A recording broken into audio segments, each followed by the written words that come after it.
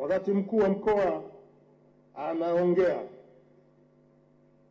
na kutoa shukurani na pongezi ambazo sote kwa kweli tunaungana naye. Mheshimiwa Rais ametufikia kwa simu hapa na kwamba lile tendo alilolifanya mkuu wa mkoa la kijana yule aliyeona ndege kwa mara ya kwanza ikitua na akaamua kwenda pale na kufungua ule mlango kwa ujasiri wake huo, Mheshimiwa Rais ameagiza akabidhiwe kwa waziri wa mambo ya ndani, naye pia atafutiwe nafasi kwenye jeshi la uokozi.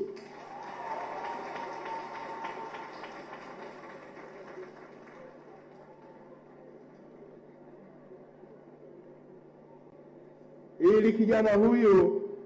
apate mafunzo zaidi ya ujasiri, ujasiri wake huo, aingie kwenye jeshi hilo hilo ambalo linahitaji ujasiri kama alioonyesha kwa kijana wetu.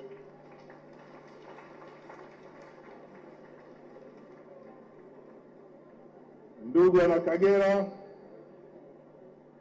kama ambavyo ameonyesha kufurahi, nasi pia jukwaa kuu hapa tumefurahishwa sana na maelekezo ya Mheshimiwa Rais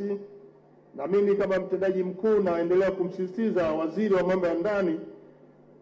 baada ya tukio hili akutane na kijana, apate taratibu zake, achukue anwani zake, na tushuhudie akienda kwenye jeshi la uokozi mara moja.